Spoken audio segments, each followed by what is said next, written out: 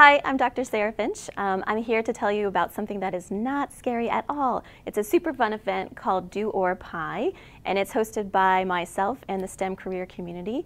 We are putting on a fun event on Pi Day, which is March 14th, 3.14, get it?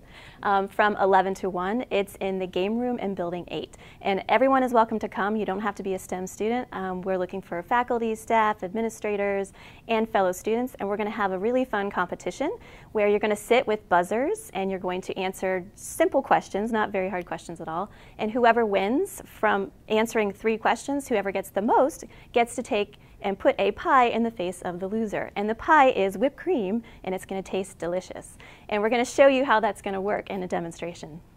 So this is our demonstration for what fun you can have on Pi Day. I'm Susan Luken. I'm a professor here at Sinclair. I teach biology and biotechnology classes and she's Come super check fun. it out. okay, ladies, I have three questions for you.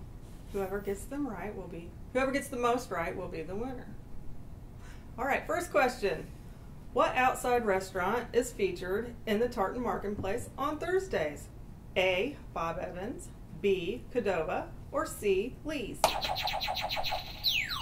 Lee's. Qdoba. Very good. Very good. Okay. No. Next question. What two elements are found in water? Oxygen and hydrogen. Very good. I think yours is closer. Third question. True or false? Beyonce and Jay Z's first daughter's name is Blue Ivy.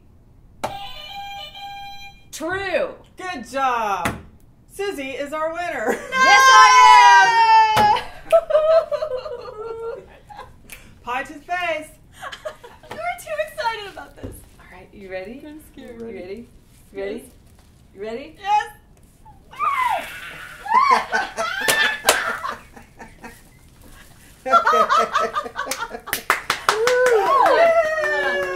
That's not scary. That's delicious. Who is this whipped cream woman over there? That's hilarious. Oh break your nose. We're good. This is it. This is what you can expect. But you will maybe have a little bit less whipped cream than this. But it's a lot of fun. And the winner had a lot of fun, right?